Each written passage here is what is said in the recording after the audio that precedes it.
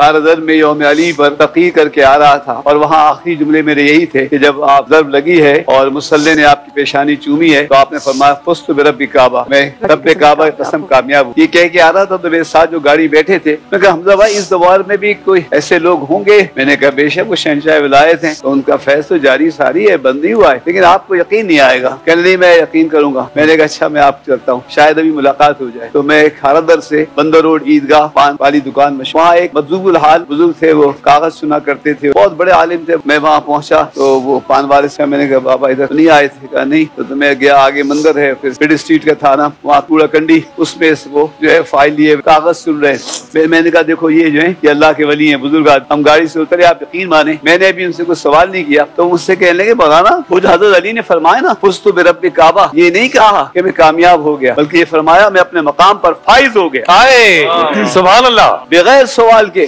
अल्लाह बगैर सवाल के बगैर हाल बताए हुए उन्होंने ये नहीं कहा कि मैं कामयाब हो गया बल्कि खुश तो मैं अपने मकाम पर फाइज हो गया। मैंने और उसके बाद फिर वो कागज़ सुनने लगे।